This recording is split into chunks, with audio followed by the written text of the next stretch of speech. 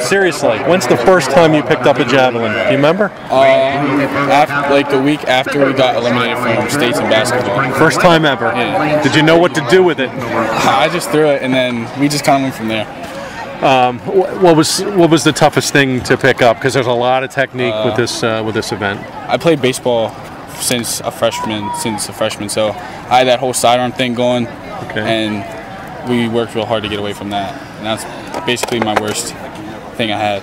That was the trickiest. Yeah. Just the, just the release. Yeah. How about the footwork and the steps and the runway and learning that whole thing with Uh, the feet? That came easy. Uh, once we measured out my steps, it pretty much it got better as the weeks went on, and I got used to getting it with speed and everything. So Okay. So you learned early on that it's not just brute strength and Yeah. just chucking it as hard as you can. Yeah. Did you expect to be standing here today with this thing around your neck? not when I started. when I first started, I got discouraged, but it it all pays off, all the practices and stuff. 180, 187, Yeah. 5? Is that what you threw? Is that a PR? Uh, I don't think so, but I'm waiting for next week when I don't got to run or jump or anything like that. I got a whole week to throw, so Okay.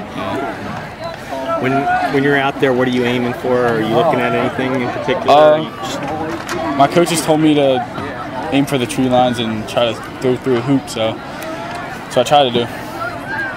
when you said about throwing through a hoop, what do you mean? Like keep everything, my follow through and the point, just through a circle and get as far as I can. When did you throw the 187? Early or finals? Uh, my first throw. First throw of the day. Yeah, How about that? yeah. Um, What happened after that? Did you did you have to did you foul at all or did you No, I didn't foul. I think I just tried too hard because I knew my first throw was 187.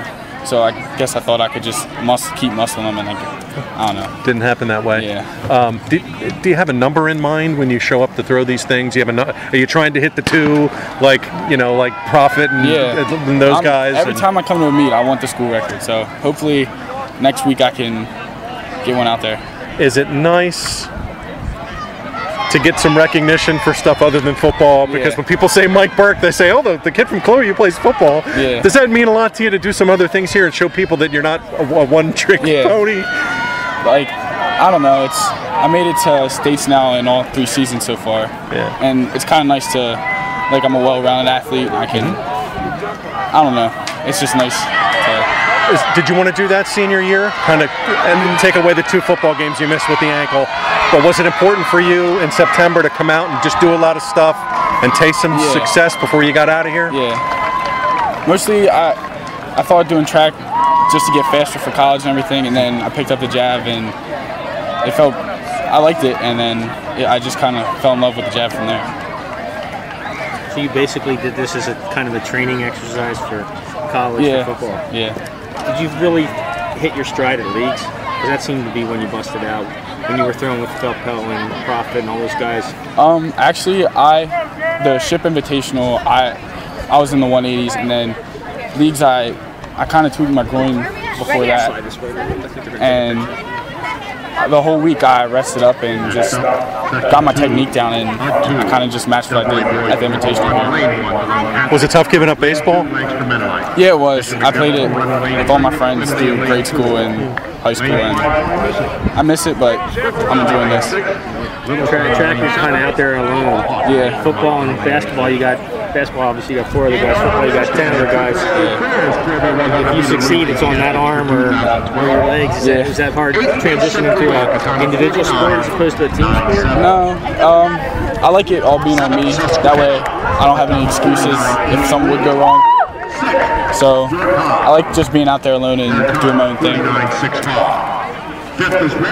Can you uh, try to put into words what this four, four years were like for you and just the things you accomplished and got to do team wise, individual wise?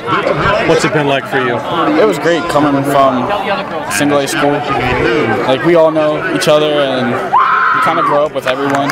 So with all the with the district championship, kind of like made my senior year, and this is kind of like extra. Proud of what you've done? I mean, you you got your name all over a whole lot of record books, my friend. Yeah. Does that mean a lot to you? Yeah, I'm still hungry for next week, so I can't be satisfied. Not done yet. Yeah.